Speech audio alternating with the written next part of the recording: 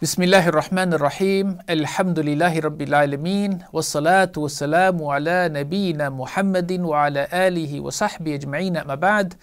Assalamu alaikum wa rahmatullahi wa barakatuh. I pray that you are continuing to enjoy this month of Ramadan and making the most of it because as you'll see that subhanallah a week has easily passed and we're close to basically one third or actually it's already a third if we're looking at it uh, 10 days that have passed and so we want to make the most of it, especially with regards to our connection to Allah Rabbul Alameen, in really using this time to nurture our growth with Him Subhanahu, our closeness to Him, our increasing of status with Him Subhanahu wa Ta'ala, and in doing so, bidnillahi Azza wa Jal, that we continue to enjoy all that being His worshipper affords us in this life and in the next. Ahbab, today we focus on the seventh verb, and it is ja'a.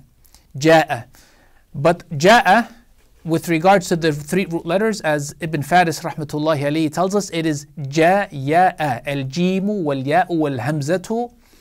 And he tells us كلمتان من غير قياس بينهما يقال جاء يجيء مجيئا ويقال جاءني فجئته أي غالبني بكثرة المجيء فغلبته والجيئة مصدر جاء والجئة مجتمع الماء حوالي الحصن وغيره ويقال هي جيئة بالكسر بالتثقيل Anyway, a lot of uh, Arabic in that.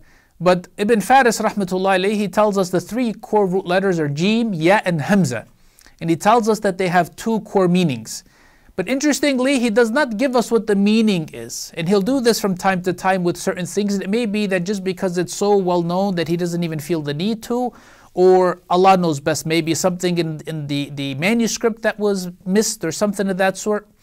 And for this reason, anytime I come to this type of a circumstance, I'm going to refer to Ibn Manzur in his famous lexicon, uh, Lisanul Arab, the tongue of the Arabs also a, a, a very well known, a treasure for uh, the language of Arabic as a dictionary, going back to looking at what these words mean.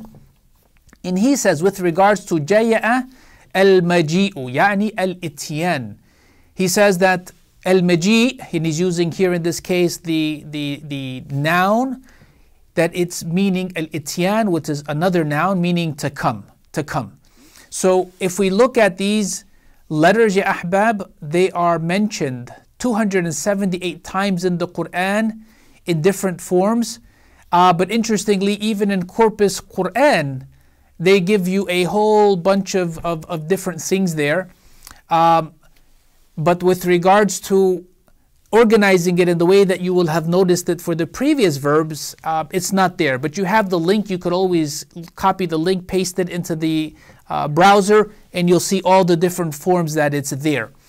But ja'a is the past tense of he came. He came. Ja'a.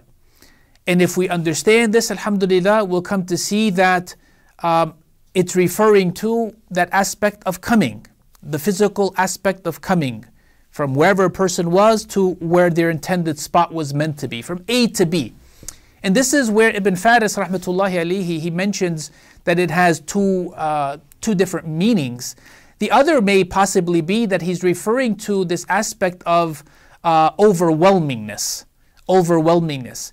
Yani when he mentions, for example, جاءني فجئته غالبني بكثرة المجيء where he's saying that it's this profuseness that he's this person has come so much that he's overwhelmed me but even in that form, it's really referring to the same thing of he came, but he came so often, he came so much that he became a burden, basically, right? But the other thing of what he mentions is with regards to water, that it is a collection place. A collection place for water. He mentions it especially in the sense of what is used as a moat that surrounds, for example, the, the, the, the castle or the fortress to add as a further fortification and protection. And Allahu Azza wa Jal knows best. But this is our seventh verb, ja'a. And inshallah ta'ala, as you'll come across through Corpus Quran, looking at the different uh, derived forms, you'll see all the other ways in which it is mentioned in the Quran. But once again, pay attention to these three root letters the ja, the a, or the ya in this case, and the hamza. And inshallah ta'ala, you'll be able to recognize it as you're reading. And inshallah ta'ala, you'll be able to understand that regardless of what format, it has something to do with coming.